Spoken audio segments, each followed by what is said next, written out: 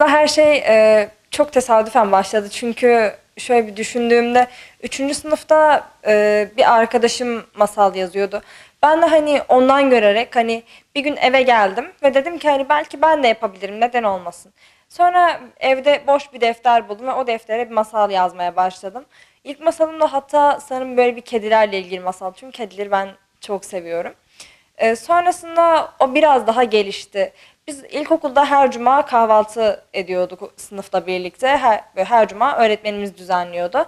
Ve o her cuma biz arkadaşlarımla birer masal yazar. O masallarımızı hani böyle okurduk sınıfta. Her şey e, ilkokulda bir masal yazmamla başladı aslında. E, kitap yazmaya hani sürekli masal yazıyordum. Sonra çevreme baktığımda e, o zamanlar yeni yeni roman okumaya başlamıştım. Böyle çocuk çocuk klasiklerinden sonra böyle yeni yeni artık roman okumaya başlamıştım. Sonra baktım ve hani dedim belki ben de yazabilirim. Sonra e, ilk romanımı yazmaya başladım. Hani bu şekilde de devam etti. E, şu an dört kitabım var. E, fakat e, ilk kitabım şu an elimde olmadığı için size gösteremiyorum. Üçüncü kitabım Yağmurlu Bir Gece ve tel, e, dördüncü kitabım yani son kitabım e, Tehlikeli Gözler. Tehlikeli Gözler de zaten birkaç gün önce ön siparişi açıldı. Ben e, dram yazmayı çok seviyorum. Çünkü e, bugüne kadar kendimi birçok konuda denedim. Fantastikte, e, bilim kurguda olsun ya da e, komedi, korku gibi konularda deneyip böyle dışarıdan gelen eleştirilerle dramda daha başarılı olduğumu gördüm ve hani dram yazmayı da çok sevdiğim için hani bu konuda yazmaya karar verdim. E, İlk başta inanmadılar çünkü e, 13 yaşında yazar olan bir kız söz, söz konusuydu ve e, hani kimse inanmaz. Çünkü hani şimdi benim yanıma birisi gelse ben de inanmazdım. Çünkü hani çok zor hani baktığımızda Türkiye gibi bir ülkede hani çok da e, zaten e, yapılan bir şey de değil bu. Hani gençler çoğunlukla cesaret edemiyor. Böyle sanat konusunda olsun. E, ama hani genelde çok fazla tebrik aldım. Çok fazla destek aldım. Bu konuda da destekleyen herkese de çok teşekkür ediyorum. Ee, ama genelde dediğim gibi ilk başta inanmadılar. Ee, bir hayaliniz varsa o gerçekleşmek için vardır.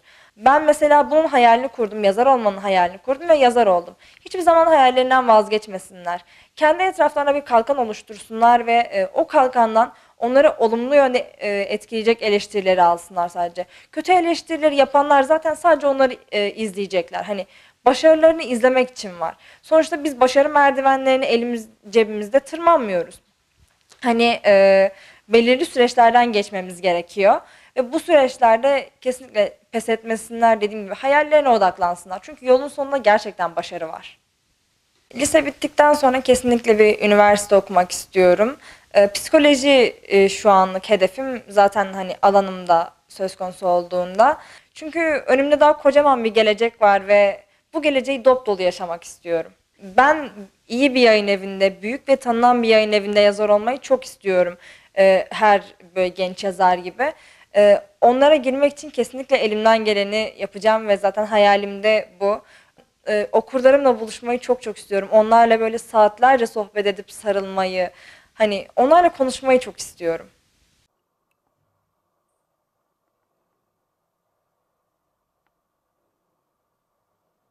Çok gurur verici bir şey. Kızım hani okumayı küçük yaştan bu yana okumayı yazmayı çok severdi. Çok e, gurur verici bir şey. Hep sürekli hani destek olmaya çalıştım. İnşallah önde açık olur. Hayallerinin peşinden e, gidiyor. Hep yardımcı olmaya çalışıyorum. Çok mutluyum. Hani gurur verici bir şey, bir şey yani her insanın yapabileceği bir şey değil. Küçüklükten bu yana zaten her çocuk mesela ayakkabı ister, kıyafet ister. Ee, anne benim şuyum yok anne. Ben e, Gül sürekli benden kitap. Artık diyordum anneciğim başka çocuklar şey istiyor, sen e, kıyafet istiyor, ayakkabı istiyor, sen sürekli kitap. Her aldığım kitabı da okurdu.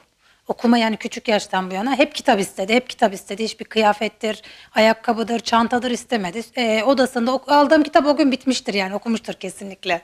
Yazarken hani mesela ben hani hep e, söylemişimdir. Bir kısmını ya anne ben şunu da yazsam, anne ben bunu da yaptım yapsam hani nasıl olur? Şurayı yazdım bakabilir misin dediği zaman okuduğumda bazen diyorum kızım olarak demiyorum mesela. Başka bir hikaye kitabı ne bileyim başka bir roman okuyormuşum gibi geliyordu bana zaten. Diyordum Allah'ım hani nasıl yazıyor böyle iki kelime yani bizler her insan yapamaz. Hani iki kelimeyi bir araya getiremiyoruz. Ama hani kızım onu öyle yazdığı için çok hani değişik bir duygu.